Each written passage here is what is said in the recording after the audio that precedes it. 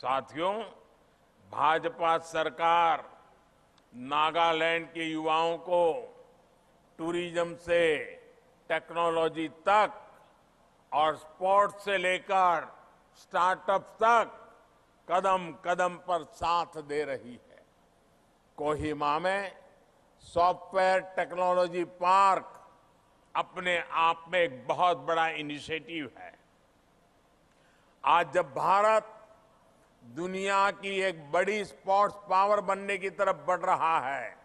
तो इसमें हमारे नागालैंड के युवाओं की बहुत बड़ी भूमिका है।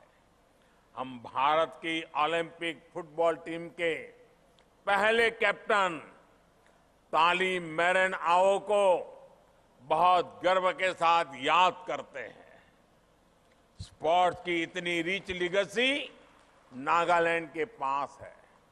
नागालैंड का ये स्पोर्ट्स पोटेंशियल देश के काम आए, इसके लिए एनडीए सरकार काम कर रही है। इसी लक्ष्य के साथ नागालैंड में Khelo India state centre of excellency बनाया गया है।